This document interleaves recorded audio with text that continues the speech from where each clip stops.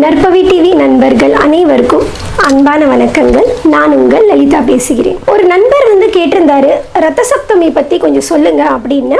இன்னைக்கு தான் கரெக்டான நேரம். ஏன்னா நாளைக்கு தான் ரத்த சப்தமி முதல்ல ரத்த சப்தமி என்றால் என்ன? அப்படிங்கறது பார்ப்போம். தை மாசம் வளர்பிறையில வர ஏழாவது நாள் தான் ரத்த சப்தமி சப்த அப்படின்னா ஏழு. நம்ம சப்த ஸ்வரங்கள் அப்படின்னு சொல்றோம் இல்லையா? சப்த அப்படின்னா ஏழு. சப்தமி அஷ்டமி நவமி தசமி.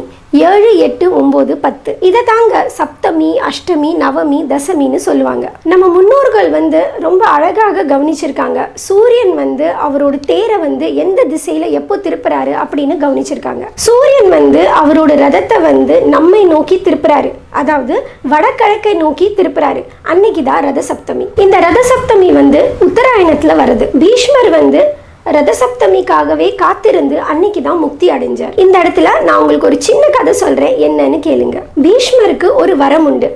என்னன்னு பார்த்தோம்னா அவர் வந்து என்னைக்கு விரும்புகிறாரோ அன்னைக்கு தான் அவரோட உயிர் வந்து அவரை விட்டு பிரியும். பீஷ்மர் அம்பு படுக்கையில் கிடக்கிறாரு. அவரால் அவர் உயிர் விடணும் அப்படின்னு நினைக்கிறாரு. ஆனால் அவரால் உயிரை விட முடியல. அவர் வந்து இந்த பீரியட்ல சொன்னது தான் விஷ்ணு சகசிரநாமம். இந்த டயத்தில் தான் வேதவியாசர் வந்து அவரை பார்க்க வர்றார். அப்போது பீஷ்மர் வந்து வேதவியாசர்கிட்ட கேட்குறாரு ஏன் எனக்கு வந்து உயிர் வந்து பிரிய மாட்டேங்கிறது? அப்போ வேதவியாசர் வந்து சொல்றாரு தப்பு பண்றது குற்றம்தான்.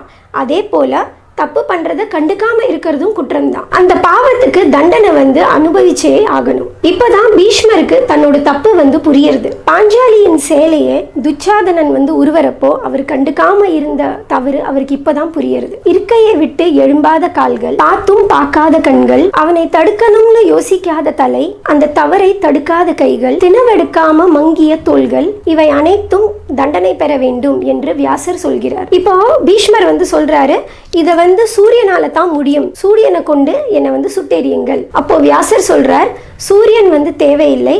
சூரிய சூரியனோட சக்தி கொண்ட இயற்கை இலை மட்டும் போதும். வியாசரே இயற்கை இலை வந்து பீஷ்மரோட உடம்பு முழுவதும் பரப்புகிறார். கொஞ்சம் கொஞ்சமாக அந்த இயற்கை இலையோட சக்தி வந்து பீஷ்மரோட உடம்புல இறங்குறது. கொஞ்சம் கொஞ்சமாக மனம் சாந்தி அடையிற பீஷ்மர் வந்து கரெக்டா ரதசப்தமி அன்னைக்கு தான் முக்தி அடையிறார். இதுதான் வந்து ரதசப்தமியோட ஒரு பேசிக் ஸ்டோரி இந்த ரதசப்தமி அன்னைக்கு சூரியோதயத்துல குளிக்கிறது ரொம்பவே சிறப்பு. குளிக்கிறதுக்கு ஒரு சில விதிமுறைகள் இருக்கு. வாங்க பார்ப்போம். இதுக்கு ஏழு எருக்கமலை எடுத்துக்கொள்ள வேண்டும். முதல்ல உங்க குளியல் அறையில கிழக்க நோக்கி ஸ்டூல் போட்டு உட்காந்துக்கிங்க இயற்கை இலைன்னு சொன்னேன் இல்லையா? அதில் வந்து ஒரு இலை வந்து தலையில் ரெண்டு இலை வந்து ரெண்டு தோலில் அதுக்கு பிறகு ரெண்டு இலை வந்து தொடையில அப்புறம் ரெண்டு இலை வந்து கால் பாதத்தில் வந்து வச்சுக்கணும். ஆண்களாக இருந்தானாக்கா ஒவ்வொரு இலையிலையும் கொஞ்சம் அரிசி வச்சுக்கிங்க.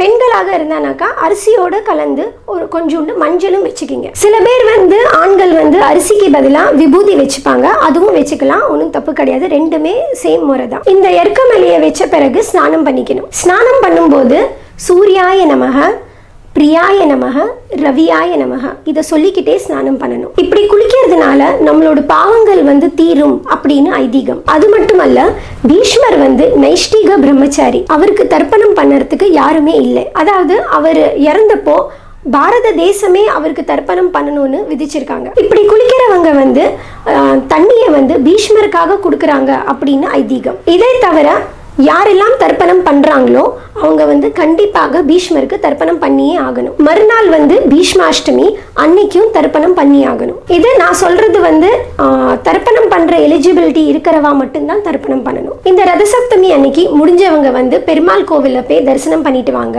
அப்படி இல்லைனாக்கா ஆற்றுல வந்து விஷ்ணு சஹஸ்ரநாமம் ஆதித்ய ஹிருதயம் பாராயணம் பண்ணலாம். அப்படியே உங்களால் முடியலன்னா விஷ்ணு சஹஸ்ரநாமம் ஆதித்ய ஹிருதயம் நீங்கள் வந்து கேட்கலாம். ஆதித்ய ஹிருதயம் வந்து காலையில் கேளுங்க. விஷ்ணு சஹஸ்ரநாமம் வந்து மாலையில் கேளுங்க. இன்னைக்கு இந்த வீடியோ உங்களுக்கு ரொம்பவே யூஸ்ஃபுல்லாக இருக்கும்னு நினைக்கிறேன். மீண்டும் பல ஆன்மீக வீடியோவுடன் சந்திக்கிறேன். நன்றி வணக்கம்.